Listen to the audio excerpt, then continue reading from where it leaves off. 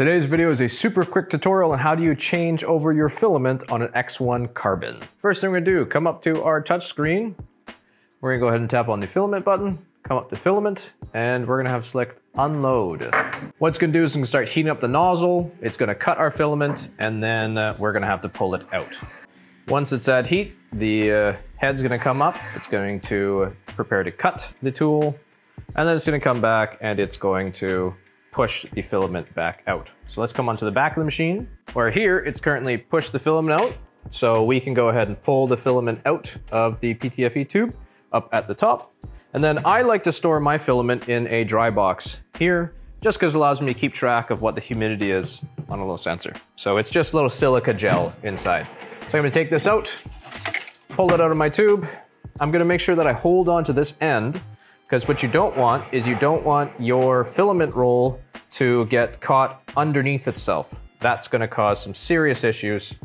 So when you're done with it, make sure you grab a hole at the edge and you can round it through and come back in through. And that's gonna stop your filament from catching in on itself. Then we'll grab our other filament roll.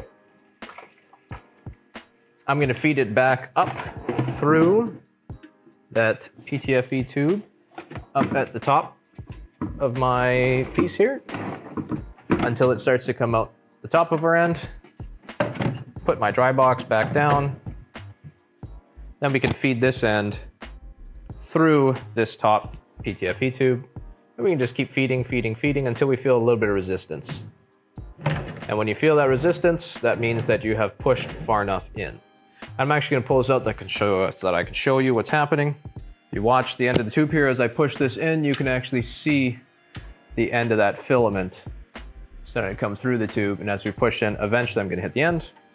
Now with my dry box setup, I also have a much wider PTFE tube here that I can push on top so that it keeps my filament nice and dry all the way up through.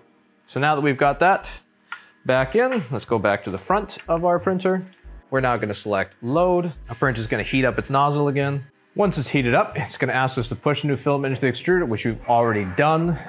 Then the head of the 3D printer is gonna go ahead and grab the new filament, of which it's already doing. Then it's going to purge the old filament. So if we watch the end here, you'll notice that we have a little bit of plastic that's already come out. That means it's started to purge.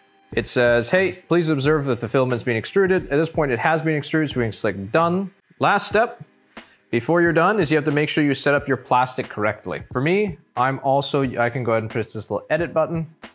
I'm using generic PLA as a filament and the color I'm using, color's not super important, but it is useful for the next person that goes to use the printer so that they, when they check it on their Bambu, they know what color they're using. And then I can go ahead and click confirm.